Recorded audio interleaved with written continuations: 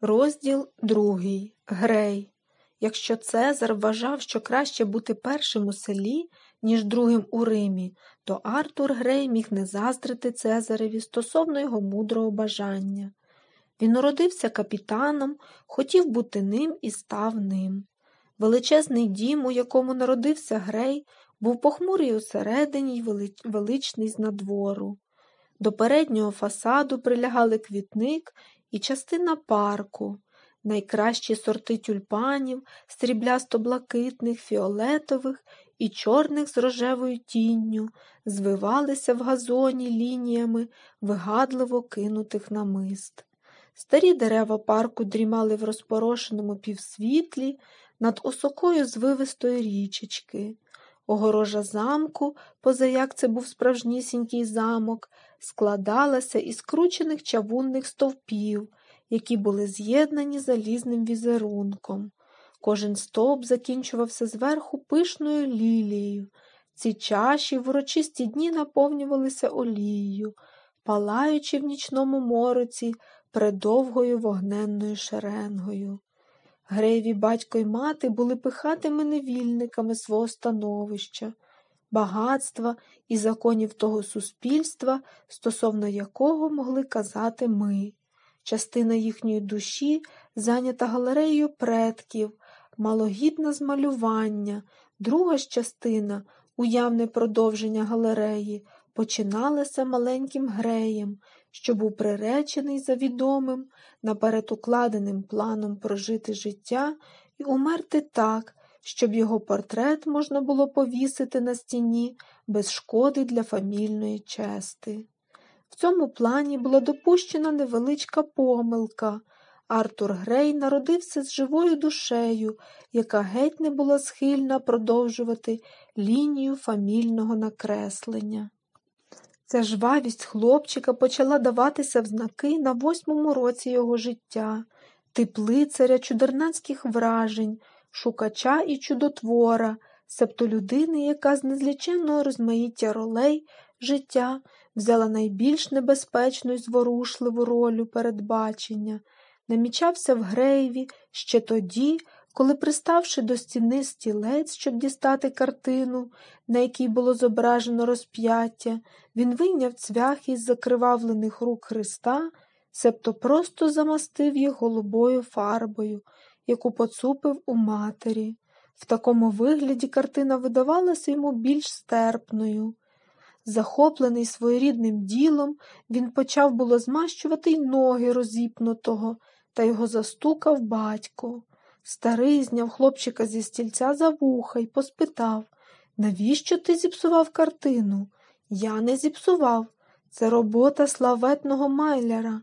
Мені байдуже, сказав Грей. Я не можу допустити, аби при мені стриміли з рук цвях і бігла кров. Я цього не хочу. У відповідь сина Леонель Грей, сховавши під вусами усмішку, впізнав себе і не наклав кару. Грей невтомно вивчав замок, роблячи разючі відкриття. Так, на горищі він знайшов сталевий лицарський мотлох, книги, оправлені в залізо і шкіри, зотлілі одіння і зграї горлиць. В льоху, де зберігалося вино, він здобув цікаві відомості стосовно лафіту, мадери, хересу. Тут у каламутному світлі спичастих вікон, пригнічених скісними трикутниками камінних склепінь, стояли маленькі й великі діжки, найбільша у формі плескатого кола, займала всю поперечну стіну льоху. Сторічний темний дуб діжки лиснів, наче відшліфований. Серед барил стояли у плетених кошиках череваті пляшки з зеленого і синього шкла. На камінцях і на земляній долівці росли сірі гриби з тонкими ніжками, скрізь пліснява, мох, сирість, квасний задушний сопух, величезне павутиння золотіло в далекому кутку, коли надвечір сонце видивляло його останнім променем. В одному місці було закопано дві діжки найкращого аліканте, яке існувало за часів кромвеля, і погрібник, показуючи греєві на порожній куток, не втрачав нагоди повторити історію славетної могили, в якій лежав мерлець жвавіший, ніж зграя фокстер'єрів. Починаючи розповідь, оповідач не забував спробувати, чи діє кран великої діжки, і відходив од нього, либонь, з полегшою на серці, позаяк мимовільні сльози, надто вже великої радости, блищали в його звеселілих очах. Ну, от що, казав Польдішок Греєві, сідаючи на порожній скринці і натоптуючи гострого носа тютюном. Бачиш ти це місце? Там лежить таке вино, за яке не один пияк дав би згоду втяти собі язика, аби йому дозволили вихилити невеличку шкляночку. В кожній діжці, діжці сто літрів речовини, від якої вибухає душа і тіло, обертається в непорушне тісто. Його барва темніша од вишні, і воно не побіжить із пляшки. Воно густе, мов добрі вершки, воно міститься в діжках із чорного дерева, кріпкого, мов залізо. На них подвійні обручі із червоної міді, на обручах латинський напис Мене вип'є грей, коли буде в раю. Цей напис тлумачився так широко і суперечливо, що твій прадідусь високородний Сімеон Грей побудував дачу, назвавши її рай, і гадав у такий спосіб узгодити загадковий вислів з дійсністю шляхом невинної дотепності. Та що ж ти гадаєш? Він помер, допіру почали збивати обручі від розриву серця. Так хвилювався ласий дідок. Від тієї пори діжку не чіпають. Виникло переконання, що коштовне вино принесе лихо. Справді, такої загадки не загадував єгипетський сфінкс. Щоправда, він запитав одного мудреця, чи ж з'їм я тебе, як з'їдаю всіх? Скажи правду, залишишся живий, та й то гарненько подумавши. Здається, знову капає з крана, перебивав сам себе польдішок, з кисними кроками прямуючи в куток, де, закріпивши кран, повертався з відкритим світлим лицем. Так, гарно подумавши, а головне, не поспішаючи, мудрець міг би сказати Сфінксові Ходімо, братику, хильнемо, і ти забудеш про цю дурню. Мене вип'є грей, коли буде в раю. Як утямити, вип'є, коли помре, чи що? Дивно, значить, він святий, значить, не п'є ні вина, ні простої горілки. Припустимо, що рай означає щастя. Та якщо так стоїть питання, то будь-яке щастя згубить половину свого сяйливого пір'ячка, коли щасливий щиро поспитає себе, чи ж рай воно? Втім, той заковика, щоб з легким серцем напитися з такої діжки і сміятися, хлопчино мій, гарно сміятися, треба одною ногою стояти на землі, другою на небі. Є іще третє припущення, що коли-небудь Грей доп'ється до блаженно райського стану і зухвало спустошить барильце. Та це, хлопчино, було б не виконання пророцтва, а трактирна галабурда. Переконавшись ще раз у справному стані крана великої діжки, Полішок зосереджено й понуро закінчував.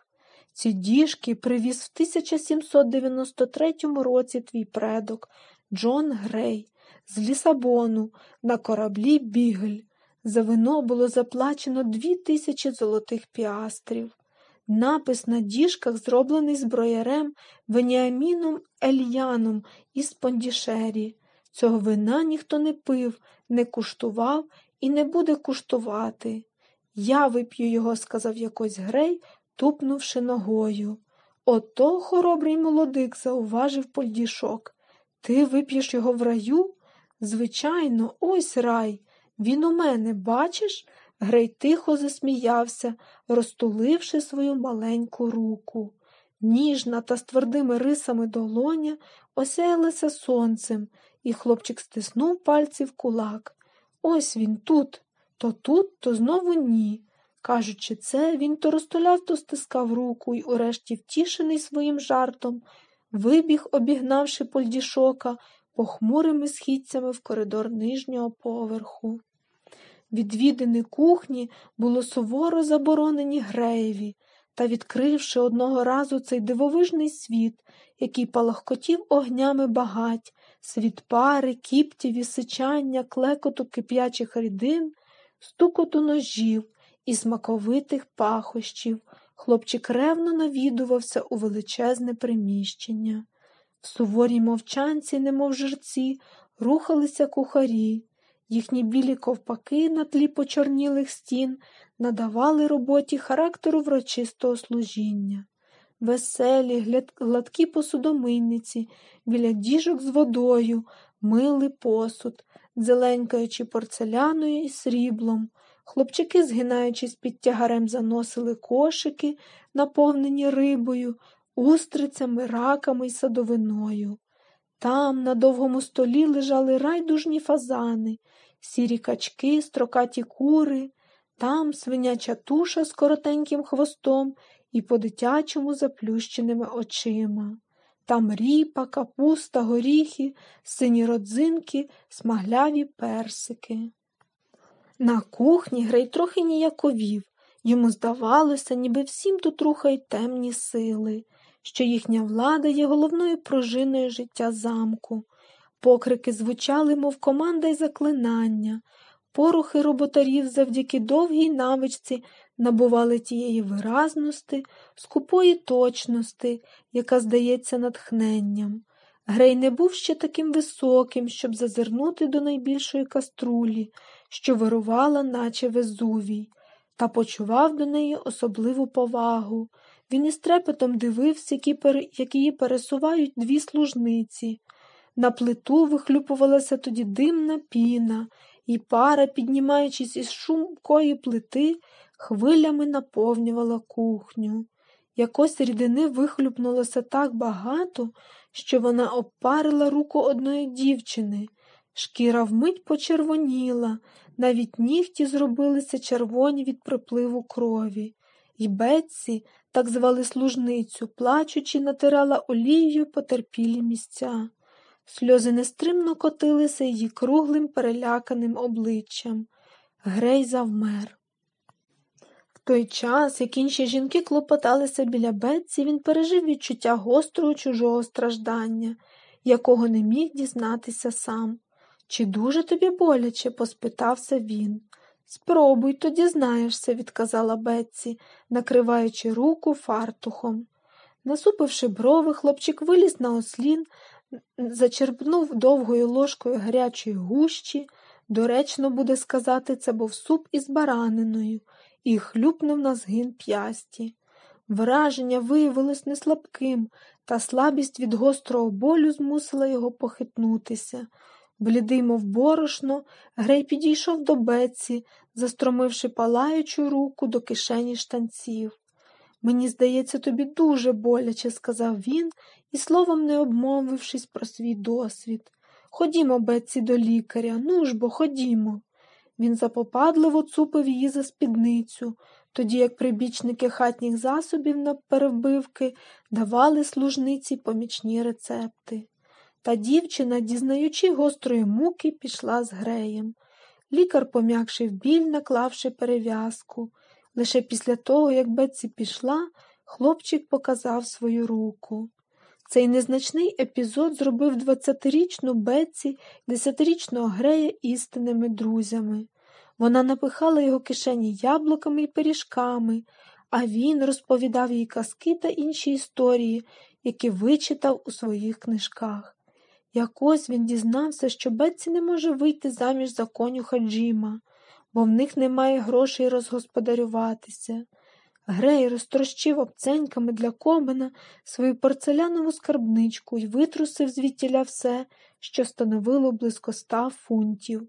Вставши рано, коли безприданиця пішла на кухню, він прокрався до її кімнати і, запхавши подарунок до дівочої скрині, прикрив його короткою запискою. Бетсі, це твоє. Ватажок зграє розбійників Робін Гуд. Переполох, який викликала на кухні ця історія, набув такого розміру, що Грей мусив зізнатися у підсуві. Він не взяв гроші назад і не хотів більше балакати про це. Його мати була однією з тих натур, яких життя відливає в готовій формі.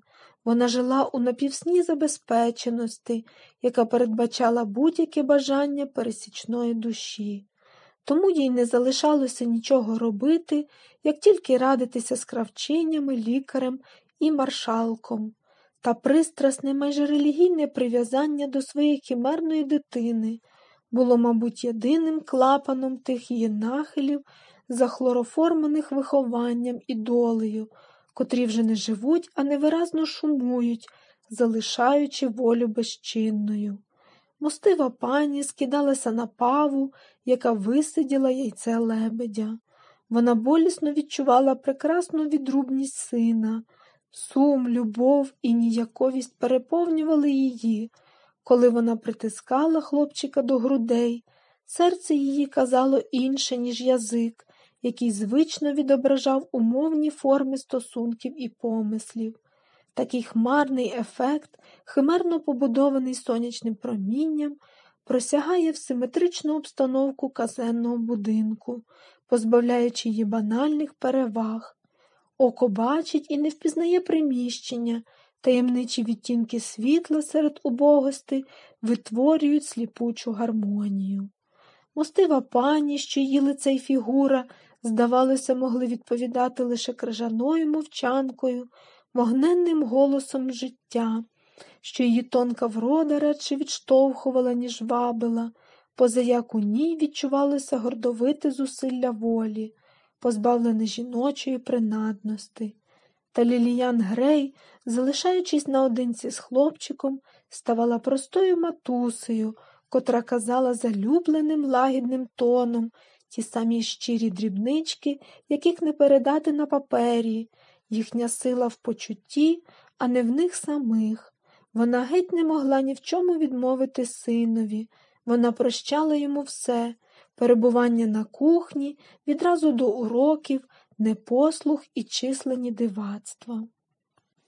Якщо він не хотів, щоб підстригали дерева, то дерева залишалися нерушені.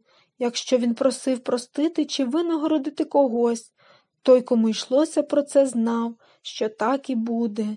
Він міг їздити на будь-якому коні, брати в замку будь-якого пса, порпатися в бібліотеці, гасати босоніж і їсти, що йому забагнеться.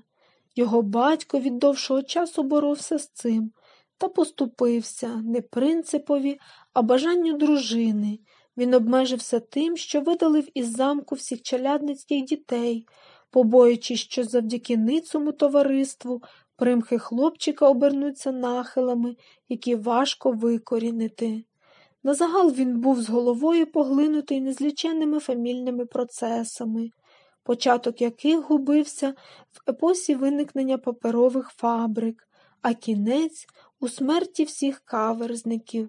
Поза тим державні справи, справи маєтків, диктант мемуарів, виїзд парадних полювань, читання газет і складне листування тримали його в певному внутрішньому віддаленні від родини. Сина він бачив так рідко, що деколи забувався, скільки йому років. Отож Грей жив у своєму світі, грався він сам, зазвичай на задніх дворищах замку, які задавнини мали бойове значення. В цих просторих пустищах із залишками високих ровів, з камінними льохами, що позаростали мохом, було повно бур'яну, кропиви, лопухів, терня і скромно строкатого дикого квіття. Грей годинами залишався тут, досліджуючи кротячі нори, воюючи з бур'янами, пантруючи на метеликів і будуючи з уламків цегли фортеці, які бомбував дрючками й камінцями. Йому йшов уже дванадцятий рік, коли всі натяки його душі, всі розокремлені риси духу й відтінки таємних потягів з'єдналися в одному потужному моменті, отримавши завдяки тому стрункий вираз, стали нестримним бажанням. До того він немов би знаходив хіба що окремі частини свого саду, просвіт, тінь, квітку, дрімучий і пишний стовбур. У, много... У многоті садів інших зненацька побачив їх ясно, всі у пригарній разючій відповідності. Сталося це в бібліотеці. Її високі двері з каламутним шклом зверху були зазвичай замкнені, та защіпка замка на силу трималася у гнізді стулок. Якщо натиснути рукою, то двері рушали, напружувалися і відчинялися. Коли дослідницький дух змусив Грея промкнутися до бібліотеки, його вразило курне світло, вся сила й особливість якого була в барвістому візерункові верхньої частини віконних шиб. Тиша покинутости стояла тут, наче вода у ставку, темні ряди книжкових шаф подекуди прилягали до вікон, затуливши їх до половини. Поміж шафами були проходи, захаращені купами книг. Там розгорнутий альбом, з якого вислизнули внутрішні листки, там сувої, перев'язані золотою вервичкою, стоси книг похмурого вигляду, грубі пласти рукописів, насип мініатюрних томиків, які тріщали, немов кора, коли їх розгортали. Тут креслення й таблиці, ряди нових видань, мапи, розмаїття палітурок, грубих, ніжних, чорних, строкатих, синіх, сірих, товстих, тонких, шерехатих і гладеньких. Шафи були щільно напхані книгами. Вони здавалися стінами, які вмістили в життя життя в самісінькій товщі своїй. У відкидах їхніх шиб виднілися інші шафи, укриті плямами, що тьмяно блищали. Величезний глобус, вміщений у мідний сферичний хрест екватора і меридіана, стояв на круглому столі.